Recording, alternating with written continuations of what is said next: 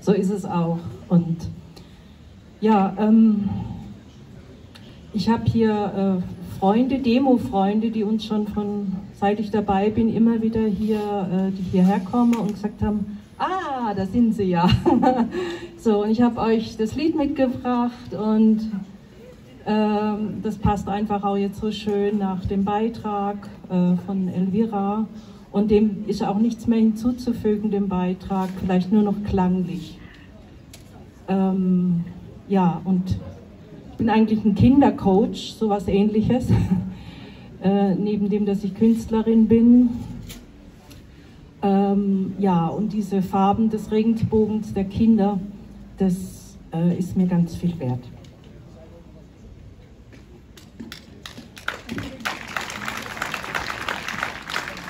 Darf auch noch hinweisen, dass Dr. Scheel am 21.10. seine, ähm, nun ja, ich würde es jetzt mal Verhör, nenne ich das so ein bisschen sarkastisch.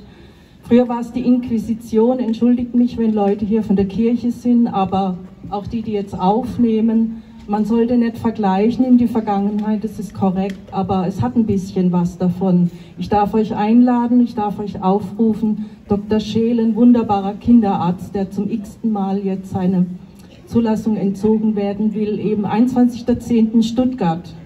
Ja, könnt ihr, wir gehen hin und wir machen ein bisschen Rabatz vor dieser kassenärztlichen Dings da.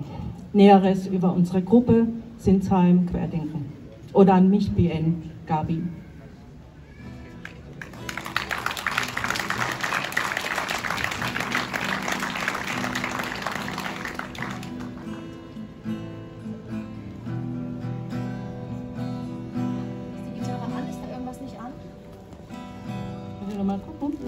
Ja. Entschuldigung, hatte ich von runtergenommen. Das ist ja Sind so kleine Hände,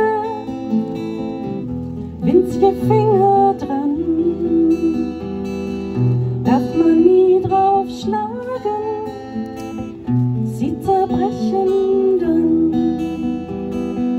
Sind so kleine Füße mit so kleinen Zehen. Darf man nie drauf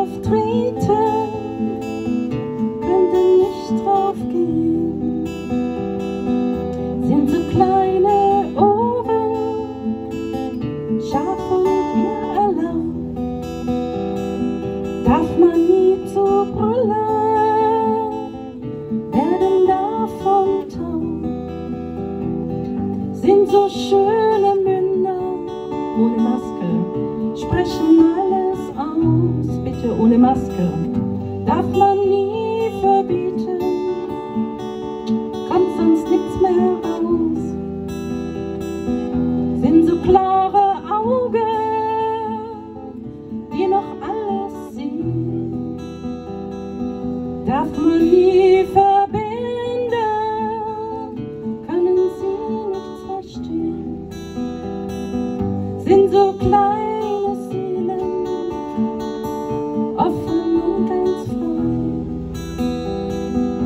Affen niemals quälen, gehen kaputt dabei.